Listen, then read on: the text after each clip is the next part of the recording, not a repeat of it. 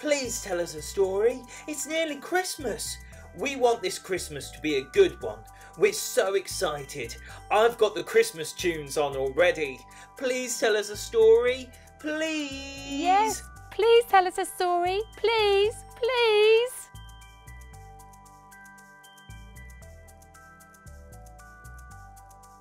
Twas one Christmas morning, we didn't get much warning. We heard a mighty crash downstairs. We crept out of bed, clutching our teddy bears. Down the creaking stairs we trod, a tentative and nervous plod. And as we ventured down the stair, we couldn't see a thing down there. It could have been a nasty joke. We couldn't see the room for smoke. Oh my god, the room's on fire! I heard myself screaming higher and higher. We held each other tight and squealed, hoping the truth would soon be revealed. Then through the smoke, a flash of red. Perhaps we should have stayed in bed. Oh no, what was it? Who could it be? The smoke was still too thick to see. This flash of red, it kept on moving. Our situation was not improving. Then, through the smoke, a cough, a wheeze. Saint Nick came crawling on his hands and knees. Santa, we cried, is it really you? Oh, yes, he said. What am I to do? I'm feeling rather sore and rotten.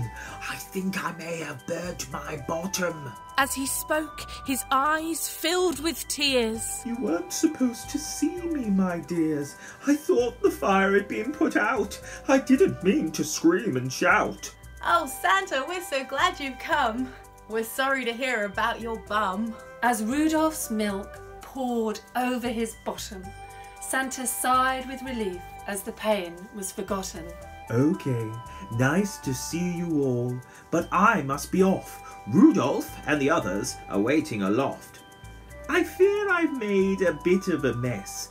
When it comes to cleaning, I rarely impress. Now remember, next year, before to bed, put out the fire. Wear more layers instead. You are good children. I've been watching, you see. You will find your presents under the tree. And without further a word or nod or sigh, Father Christmas he vanished in the sky. Now, each year and every Christmas after, we heed the words of our friendly father. And make sure the fire is quite put out to save St. Nick from screaming out.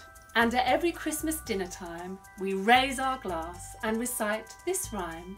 And now for a toast to Santa Claus, the man with the big hole in his drawers.